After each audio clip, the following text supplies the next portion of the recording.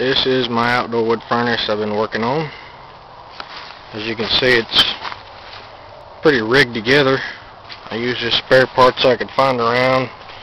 Some old barn tin, an old sign.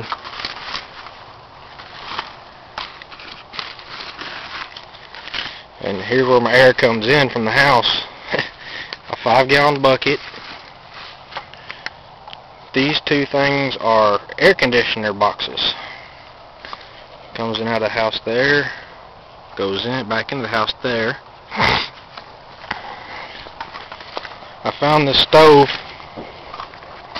for $100 and an 89 IROC Z28 or Z, IROC Z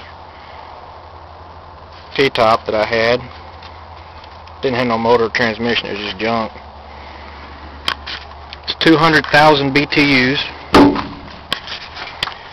And so far I haven't been able to get my house solely heated off this. I can warm it up and help keep it warm, but I can't get it warm. Any ideas anybody may have that I can do to this to make it more efficient, just, you know, let me know.